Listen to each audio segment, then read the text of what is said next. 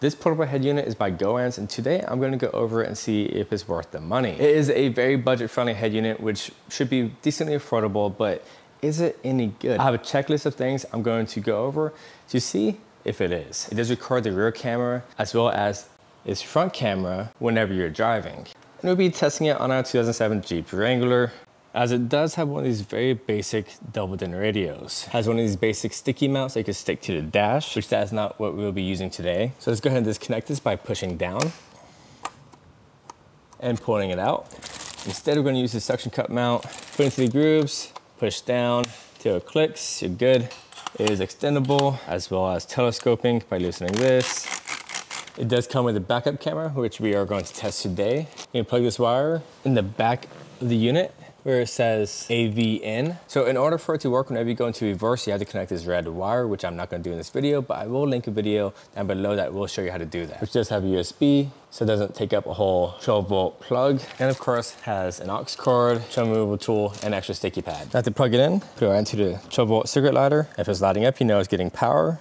Then it does use a USB-C, which is nice. Which you plug right underneath the AV1 here.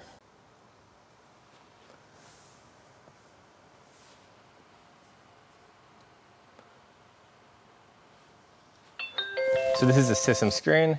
You have Apple CarPlay, Android Auto, DVR, which I'll show you what that looks like right now. You have the front camera, which actually looks pretty high quality, to be honest. You can basically read what's on there. That's pretty good. And the review camera, which, you know, I need to take this off, much higher quality now. It is squished a little bit, mainly because the screen is lengthened and you're trying to fit two screens onto one. And I actually forgot to take out the plastic on the back of here. And from here, you can press the middle. You can stop the recording, start it, and then you lock it so it will save that footage. Take a screenshot, go to past recorded video files. So we have the rear all the way up to our, I just moved it right there. Then of course we have the front camera and the photos that we just took. Now you can turn on and off the mic. I prefer to keep it on. And you can change the layout just like so, or you can just swipe it and it'll do the same thing. Whatever, let's go home. Playback, which is you know, the recordings that we just did back home, audio output, which we will go through in a quick second, Apple AirPlay, which would be screen mirroring, Android Cast, Bluetooth music, and finally Wi-Fi video, which is you'd be connecting this to your camera. This is how you change the brightness, press it, and you slide up or down. It gets pretty dang bright. Then this goes to aux cable, which we do not have plugged in right now. And finally, we have the settings. You can change the rec record resolution. Right now it's on 720, 720p.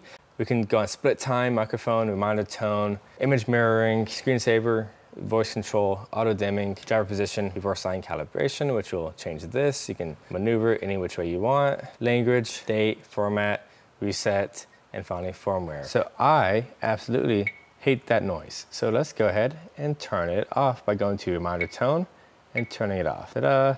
Okay, let's go ahead and connect to Apple CarPlay because that's what I have. I have an iPhone, me and my beautiful wife. Apple CarPlay, go to Bluetooth, Bluetooth settings, click this one right here. Pair, allow, see how fast it takes to connect. This is real time.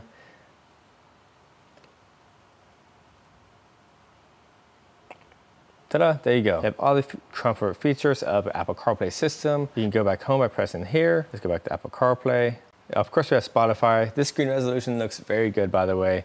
Very impressed with it. Let's go home and go through the different audio outputs. Currently, we're on the speaker within the unit, so let's go test that out. Play some non-copyright music. Turn the volume up here. This is as high as it goes.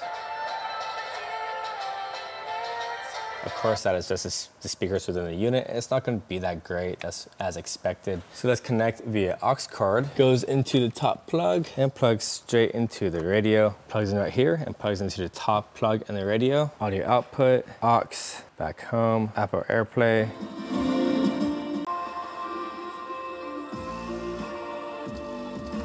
So that doesn't sound too bad. Audio quality, I say it's pretty dang good. Let's go back to audio output try the FM transmission. We got 97.1, go to 97.1. This is pretty seamless, go to C. There you go, it connected, the fuzzies went away. Now let's go home, Have a Apple CarPlay, and play again.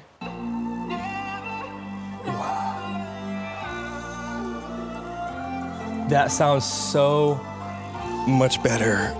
So much better from the aux card. I did not expect that high of a quality sound from this through FM. On the last radio I reviewed, which is a small portable head unit. It's the cheapest one I found on Amazon. The quality actually sounded pretty good, but once you put your hand near the radio, there was, uh, it created fuzzy noises, but not when you get it close to the portable head unit, only towards the radio. This, you're, you're good. Now let's test out the phone call and mic resolution. I'll be calling my wife. There we go, phone call. Hello. Hi, how are you doing? Hi. I'm good. How are you? Great. How's the quality on this? It's better. It's um I can hear you clearly. It does have a little bit of a not an echo, but like a Okay, is the crackling and the quality any lower than the cheapest portable head unit I just reviewed? it's better. It's a lot better. Okay, sounds a lot better. Okay, cool. And I think it would be clear to hear you even with the wind noise. Okay, and that was definitely a concern for the last one. Yeah. Okay, sweet. All right, thank you. Bye. All right, I love you too.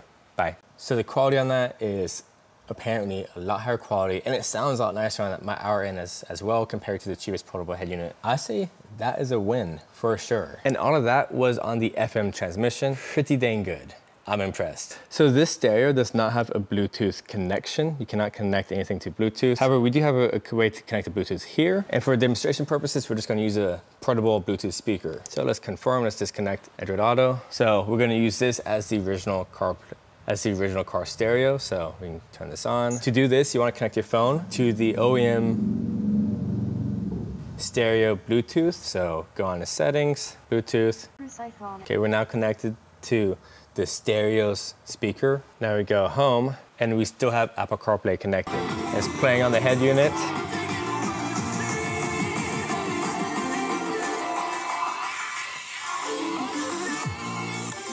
Now let's go ahead and go home. Now let's do Apple AirPlay. So Apple CarPlay is still connected, so we need to, you have to forget the device on Bluetooth settings. Now we can go to Apple AirPlay form, connect to it via Wi-Fi. It will be CarLink. You put in the password that shows on here, join it. For whatever reason, the Apple Mirror is not working. It's just forever loading up there. It is what it is. I already restarted my phone and I already forgot the network and reconnected it. Um, it's just not connecting. I'm not sure what I'm missing. But I'm gonna count that as it's not working on the head unit because it should be simple. Another big issue with these head units is that they are not auto connecting. So let's see if this one auto connects whenever we turn off the unit and turn it back on. So to do that, I'm just gonna unplug the unit. And uh, you can see I'm already connected to Apple CarPlay, disconnect, reconnect, that's pretty quick. As soon as it turned on, FM transmission has connected and we're connected to Apple CarPlay. That's solid. So in the past, I reviewed a similar unit to this called the CKN Radio. It was $100 and it was terrible. But this is $122 and it's so much better. And I was completely blown away about how high quality FM transmission was. So that is a win in my book. Even the recorded footage looks really good, which I'm impressed. And the quality of the screen is very nice as well. Has a front camera and back camera that records 24 7. The only main downfall, it does not do Apple mirroring, or at least I couldn't get it to work.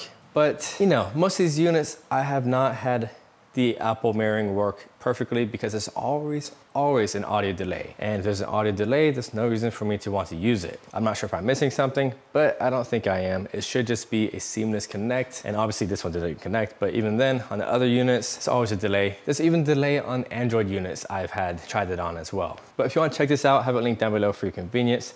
This is Chris, always appreciate and respect one another. See you next time.